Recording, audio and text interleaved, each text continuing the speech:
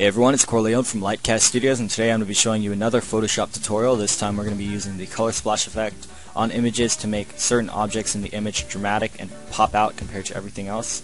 And to do this we're going to be clicking File, Open to import our image. We're going to be using fruits as an example because it's the easiest to uh, use the color splash effect on. We're going to be using the kiwi as our center object so what we're going to do is click the uh, layers if you haven't done so already.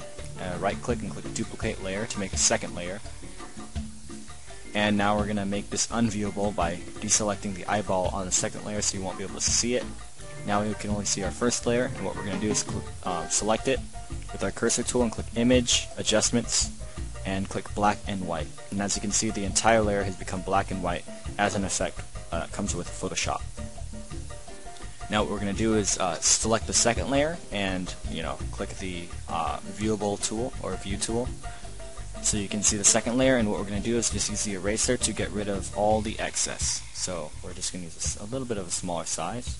Looks just about good and we're basically just going to key out and erase all the color from everything but the kiwi. And once it's done it should look like this. As you can see the image has just been uh, just about finished but as you can see we made a couple of errors so what we're going to do is zoom in 200% to view all the extra little details and as you can see we cut off a huge chunk part of the a huge part of the kiwi. So what we're going to do is use the history tool to uh, reveal and or you know just redo that part of the image and make sure it's set to the right uh, size and opacity at 100 and basically just re uh, just go over the part again to redo it instead of having to use the undo tool which may just bring back big chunks that you don't want and we're going to use the smaller size for the the brush again just to get rid of the smaller edges on the image. You know, just to make it more refined as a kiwi.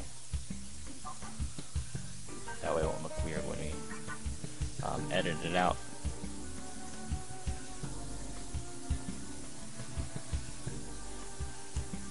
And that looks just about finished. Uh, you know, a few little things here and there.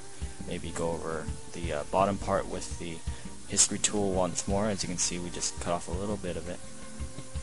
Just finish that again. And that's it. Now if we zoom out, we can see the uh, finished product. And that's it. You know, it's very simple. It's very professional looking and pretty artistic if you want certain objects to pop out more than others and just drain the saturation all the way down to the bottom for the other uh, other fruit and stuff like that and this can be done with uh, any image or anything you want. It's a very simple thing to do. And that's about it. I hope you enjoyed this tutorial. Don't forget to comment and subscribe. And until next time, this is LiteCast Studios, and thanks for watching.